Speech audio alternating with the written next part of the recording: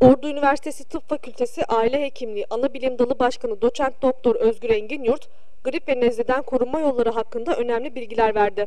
Grip ve nezle hastalığı her ikisi de virüsteyn neden olduğu hastalıklardır. Grip ve nezle hastalığı semptomları olan hastaların muhakkak hekim kontrolünden geçmesi gerektiğini söyleyen Engin Yurt, vatandaşların bilinçsiz antibiyotik kullanmamasını istedi. Bu nedenle bunun ayrımını yapabilecek kişiler de hekimlerdir. Öncelikle hastalara tavsiyem e, grip ve nezle benzeri semptomları olan öksürük, ateş, boğaz ağrısı, balgam çıkartma, vücutta kırgınlık gibi semptomları olan hastaların e, muhakkak bir hekim kontrolünden geçmesi gerekir. Bu aile hekimleri olabilir, enfeksiyon hastalıkları uzmanları olabilir, kulak burun boğaz uzmanları olabilir ama bir hekim kontrolünden geçmesi gerekiyor ki bu ayrım yapılsın. Yani bir viral hastalık mı yoksa bakteriyel bir hastalık mı? Antibiyotik kullanılması gerekiyor mu yoksa antibiyotik kullanılması gerekmiyor mu? Bu ayrımın yapılması lazım. Artık zaten elden antibiyotik satışı yok ama vatandaşların gene buna rağmen hekimlere antibiyotik yazdırma ve bununla ilgili baskı yapma e, davranışları var. Bunları gözlemliyoruz. E, bu çok yanlış bir davranış. Çünkü grip ve nezle dediğim gibi virüslerin tamamen antibiyotikle e, tedavi etmemiz mümkün olmayan e, gruptaki mikroorganizmaların neden olduğu hastalıklardır. Bu yüzden bu ayrımı bırakınız hekimler yapsınlar ve tedaviye hekimler başlasınlar. Grip ve nezleden korunmak için neler yapılması hususunda bilgiler aktaran Engin Yurt, beslenmeye çok dikkat edilmesi gerektiğini belirtti. Ee, kış aylarında e, sebze ve meyveden e, ağırlıklı olarak sebze ve meyve tüketmeliyiz. E, vitamin açısından A vitamini, C vitamini, D vitamini ve E vitamininden zengin yiyecekleri tüketmemiz gerekiyor. E, A vitamininden ve C vitamininden zengin sebzeler brokoli, karnabahar, ıspanak, maydanoz, havuç, bunların tüketimini artırmamız gerekiyor. Tabii brokoli ve karnabahar çocukların çok sevdiği sebzeler değil.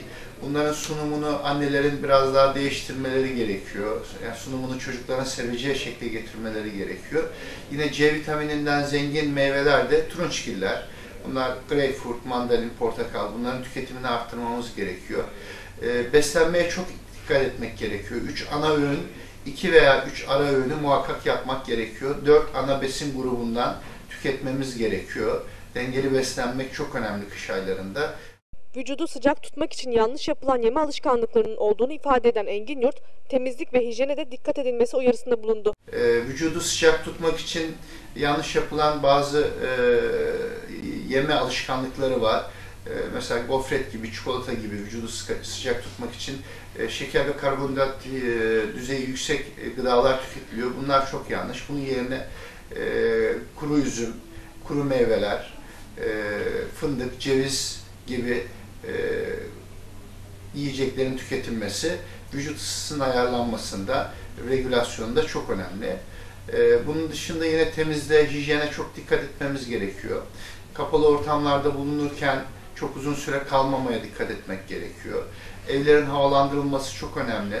Okullar tamamen enfeksiyon kaynağı. Çocuklardan bir tanesi hasta olduğunda diğer çocuklara enfekte edebilmekte. Okula giden bir çocuk hasta olduğunda muhakkak doktora götürülüp birkaç gün istirahat alınmalı ki okuldaki diğer çocuklara hasta etmesin. Aynı şekilde diğer çocuklara yayılacaktır.